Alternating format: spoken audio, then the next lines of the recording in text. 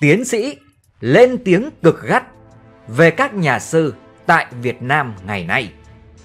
Người trong cuộc đáp trả. Thời gian vừa qua, hàng loạt các ý kiến, thư điện tử và những tin nhắn bày tỏ bức xúc về những phát ngôn của một người được gọi là tiến sĩ Đoàn Hương trong một talk show do VTC Now đã thực hiện. Nội dung của câu chuyện này trên VTC Now gom nhiều thứ của xã hội và nhiều chuyện không còn là mới. Có nhiều việc đã xảy ra đã lâu rồi liên quan đến đình, đến miếu, đến lễ hội, chùa hay là hội dân gian ở những làng xã tại Việt Nam. Nhưng mà lại được đặt ra lại tựa đề rất ác ý, quy về cho Phật giáo.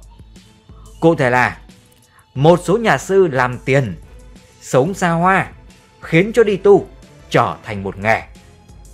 Đó là chưa kể, tới việc nhà đài lại còn liệt kê ra các vi phạm của người mạo danh nhưng được gắn cho là nhà sư. Là Phật giáo trong lời dẫn, trong nhận định của mình. Tôn trọng ý kiến của chư Tăng Ni, Phật tử đã gửi về những tòa soạn. Dưới đây là một phần ý kiến của Thượng tọa Thích Thiện Thuận, Ủy viên Hội đồng trị sự, Phó trưởng ban kiêm tránh thư ký Ban trị sự, truyền ban Hoàng Pháp, Giáo hội Phật giáo Việt Nam, tỉnh Bà Rịa Vũng Tàu. Trong những nội dung về vấn đề như thế này. Thưa bà tiến sĩ Đoàn Hương, tôi có nghe được những phản ánh đầy bức xúc của đông đảo Phật tử và cả với những người thân thiện với đạo Phật về một video trong một cuộc phỏng vấn của bà đối với VTC Now được đặt những tựa đề gây phẫn nộ. Một số nhà sư làm tiền, sống xa hoa, khiến cho việc đi tu trở thành một nghề. Hay là nhiều đền, nhiều chùa, mai giao cả năm, chờ chặt chém du khách. Tôi đã xem hết, nghe hết những ý kiến của bà xung quanh chủ đề mà nhà đài đưa ra. Lên án bói toán, lên án về mê tín dị đoan, dâng sao giải hạn, vân vân.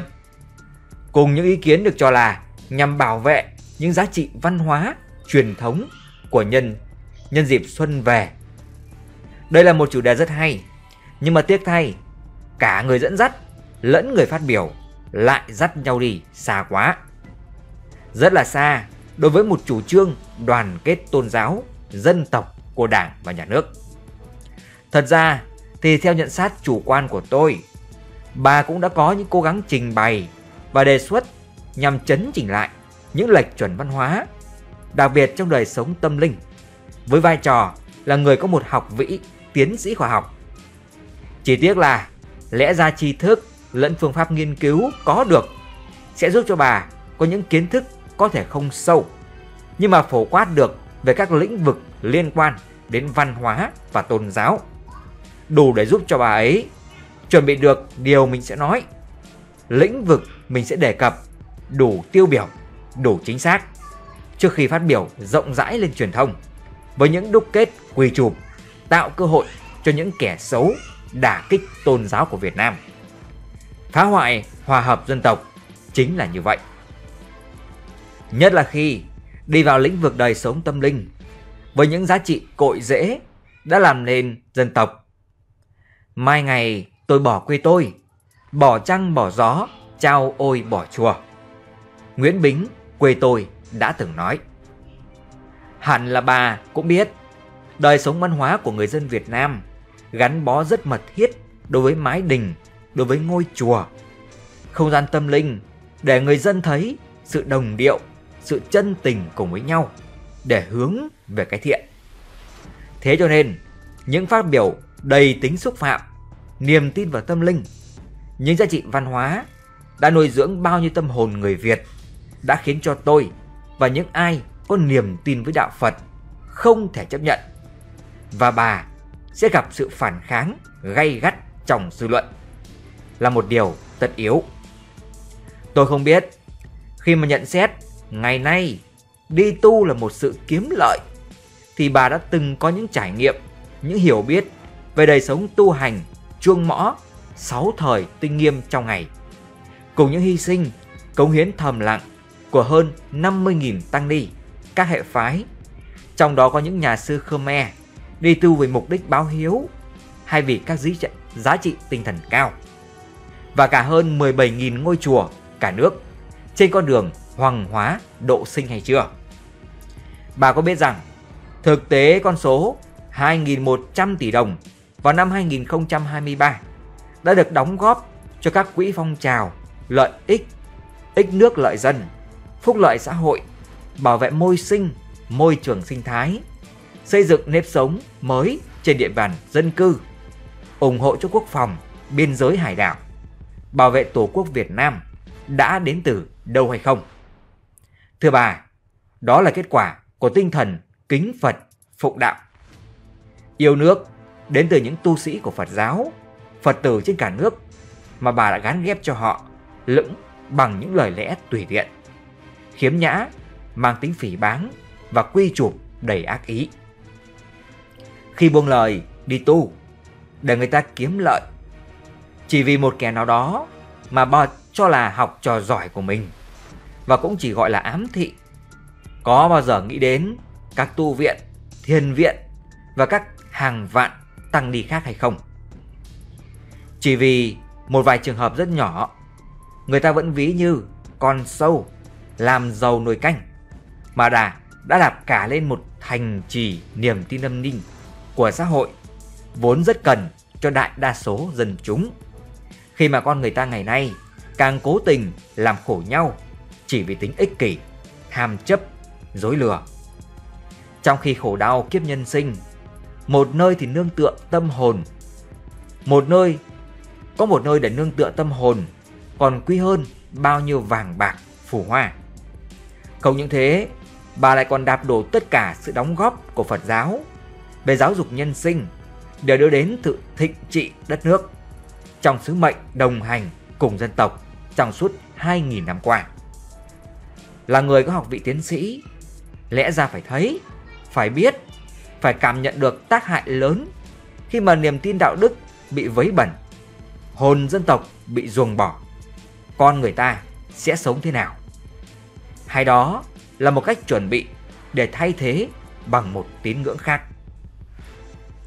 Bởi vì bà không có dữ liệu, cho nên tôi rất muốn cung cấp cho bà những chứng minh sống về hành vi tốt đời đẹp đạo của nhiều tu sĩ Phật giáo mà bà đã không để mắt đến khi mà phát ngôn nhục mạ giới tu sĩ Phật giáo đi tu để kiếm lợi.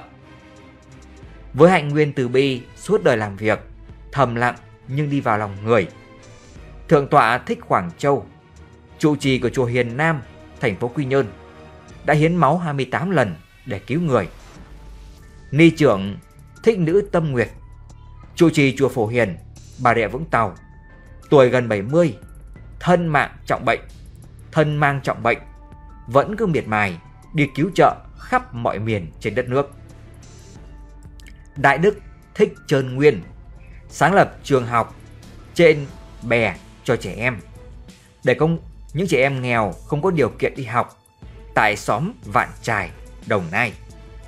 Vân vân và còn bao nhiêu câu chuyện cảm động nữa về những người tu sĩ tình nguyện dấn thân cứu người trong mùa đại dịch. Còn một vấn đề mà tôi muốn trao đổi thêm với bà tiến sĩ phát biểu chính thức trên truyền thông đại chúng luôn đòi hỏi khắt khe. Nói thì phải có sách, mách phải có chứng.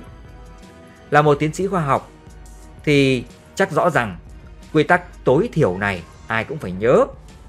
Cho nên khi phát biểu, tôi vào chùa, tôi phát hiện ra rằng tôi mới hiểu thế nào là tiền chùa có những sư thầy đem về tậu về hàng trăm mẫu đất ở quê. Có những sư thầy đem đi Sài Gòn mua cả một phố để xây nhà cho bố mẹ, cho anh em. Tôi chắc rằng bà đã rõ tên tuổi, nguồn gốc của nhân vật, sự việc ấy. Cho nên tôi nói, thực sự ngạc nhiên khi mà nghe bà sử dụng lối nói úp mở, chung chung với những dữ liệu minh họa mập mờ. Rồi quy chụp rằng ngày nay đi tu trở thành một sự kiếm lợi. Người trí thức luôn kiểm chứng sự thông minh khi mà phát ngôn trước công chúng. Sự mơ hồ là một điều không thể chấp nhận. Tiếc rằng vì thích thể hiện mình, bà lựa chọn cách nói quá thô thiển, không xứng tầm học vị khi đưa ra tầm nhận định mang tính phủ quyết danh dự của người khác mà không đủ luận cứ để xác minh. Là tín đồ của Phật giáo, tôi cho rằng lối nói mà thiếu thuyết phục, nhận định mơ hồ của bà là một sự báng bổ trong giới tu sĩ Phật giáo Việt Nam. Đây là một hành vi lợi dụng truyền thông và mạng xã hội nhằm xúc phạm nghiêm trọng đến nhân phẩm, danh dự của người khác. Đạo Phật là đạo từ bi, nhưng mà từ bi có trí tuệ. Tôi chưa biết rõ Giáo hội Phật giáo Việt Nam sẽ có quyết định như thế nào về việc bà xúc phạm Phật giáo. Nhưng mà trước hết tôi nghĩ bà đang nợ Phật giáo và toàn thể tăng ni, tín đồ Phật tử, cả nước một lời xin lỗi chân thành.